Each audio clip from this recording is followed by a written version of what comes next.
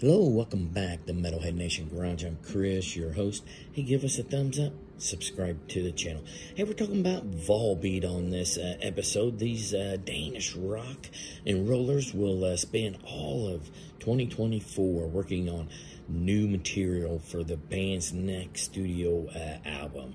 You know, uh, they outline their uh, plans for the follow-up to 2021 Servant of the Mind, you know, in a video uh, uh, on Instagram earlier today. So, uh, pretty cool deal. Uh, Volbeat, you know, uh, very solid group. Uh, just got off tour. Uh, very good rockers and, and, one of my favorite uh, bands over the years. So uh, you can follow this on Instagram, their web uh, band's website. You know, get further updates, pictures of them uh, going into the studio, doing their video. Uh, you know, describing uh, what their their plans are for all of 2024, and that'll be this edition of Metalhead Nation Garage.